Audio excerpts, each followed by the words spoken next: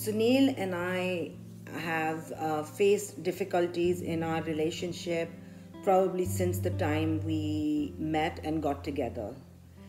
And the last few years, the relationship continued to deteriorate and the difficulties became more and more. And the only way out that we saw was divorce. And so we started thinking and moving in that direction.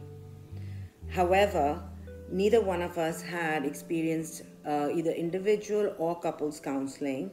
And so we decided to give counseling a chance to see if we could salvage our uh, marriage. And the two of us decided that we would pick three names from the internet and kind of um, uh, go through our list to find a, a therapist that best matched our needs. And the first name that we both had on our list was Anavadya. So that in itself was a sign that things were meant to be. And so began our journey with Anavadya in March of 2014. And I remember the mindset that I had for my offer session was I'm perfect, my husband's the problem, fix him, and I'll take him home.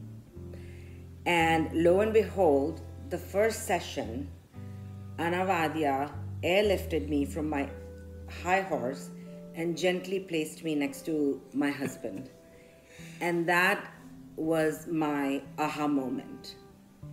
Yeah, I think that that's really when um, a journey of transformation, uh, both as individuals and as a couple, um, as human beings, um, really began and started um, started the direction of shaping our beautiful bond over the years of working with Anavadya. Uh, I believe in our in in our experience working with Anavadya, we find that her approach has been one of honesty, openness, uh, compassion, and uh, you know the work we have done with her has really helped us uh, decode the messages we have lived with since childhood uh, that have really been created by the conditioning of our environment for the most part.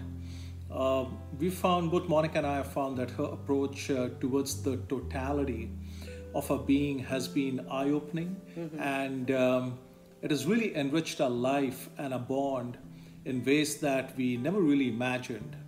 Uh, so here we are, uh, five years later, six years later, and for both Monica and for me, Anavadya has been and is our life coach, uh, a spiritual mentor, and a guiding light towards um, always steering us towards the being in our heart.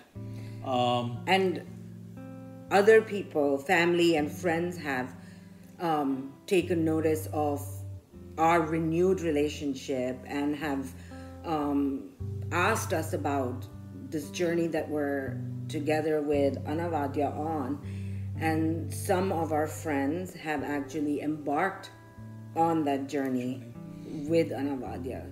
So we are just so full of gratitude and um, good fortune to have her in our life.